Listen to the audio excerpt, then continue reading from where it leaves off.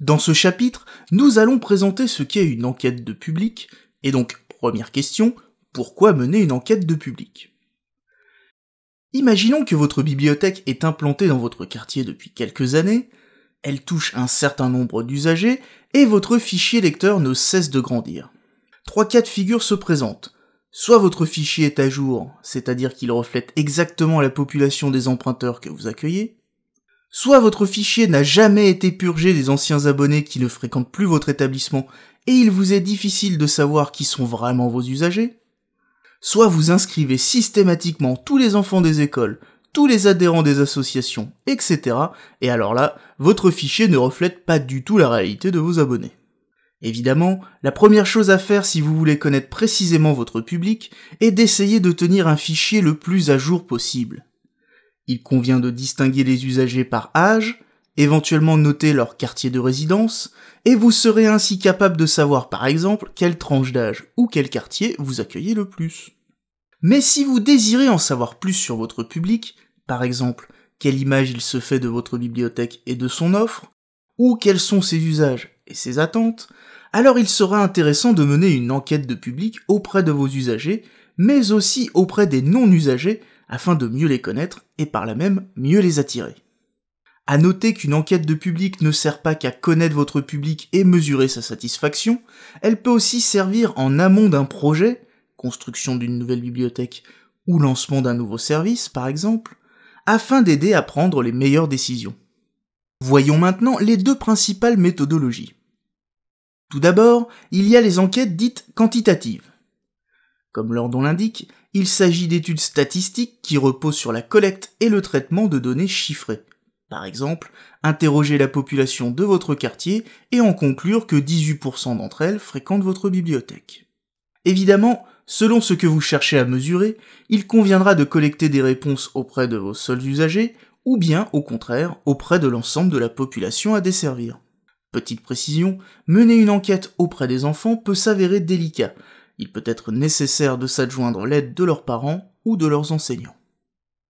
Comme vous vous en doutez, il n'est en général pas possible d'interroger la totalité de la population.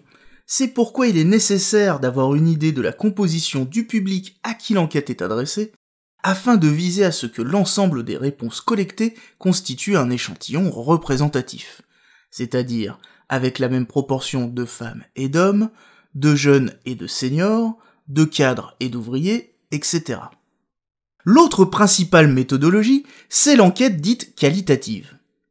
C'est une enquête qui concerne un nombre plus réduit de personnes que l'on va interroger de façon plus approfondie, soit via un entretien oral, soit par la collecte de réponses détaillées et rédigées, soit par l'observation de cet échantillon dans la situation que l'on cherche à mesurer. Les entretiens peuvent être individuels ou bien collectifs, on réunit une petite dizaine de personnes pour discuter d'un sujet que vous aurez préparé, c'est ce qu'on appelle un focus group. Tout ça c'est très bien, mais concrètement, comment on fait? Eh bien, voici les différentes étapes nécessaires pour mener une enquête de public. Tout d'abord, rédigez un cahier des charges décrivant votre problématique, c'est-à-dire ce que vous cherchez à savoir, quel est le public qui vous intéresse, ce que vous attendez des résultats.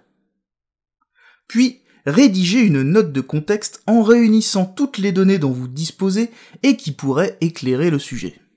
Ensuite, définissez précisément quel est le public dont vous cherchez à connaître les réponses, déterminez son nombre, sa localisation, calculez l'échantillon représentatif que vous allez viser, précisez comment vous allez vous mettre en contact avec lui. Par exemple, distribution de questionnaires, interview dans la rue, mailing, etc.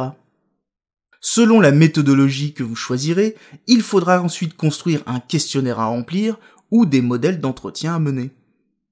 Enfin, il faudra recruter et former vos enquêteurs, à moins que vous ayez décidé de confier cette enquête à un prestataire. Et voilà, il ne vous reste plus qu'à collecter les données et à les analyser. Finissons avec quelques conseils pour bien construire vos questionnaires.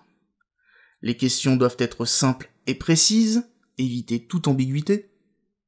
Privilégiez les questions fermées, qui appellent des réponses simples comme oui, non, souvent ou jamais, aux questions ouvertes, qui appellent des réponses plus libres et qui seront donc plus difficiles à traiter. Utilisez des échelles de mesure, par exemple pour la fréquence, la durée, la quantité ou la qualité. Évitez de proposer des réponses trop neutres dans lesquelles beaucoup pourraient vouloir se réfugier. Enfin, n'oubliez pas de prévoir des questions qui permettront de savoir qui répond. Le sexe, l'âge, les diplômes, l'expérience de la bibliothèque, l'usage du livre, etc.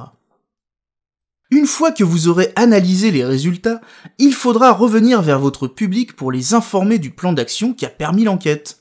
Et une fois ce plan établi, tenez-vous-y et mettez-le en œuvre, car au final, c'est votre crédibilité qui est en jeu.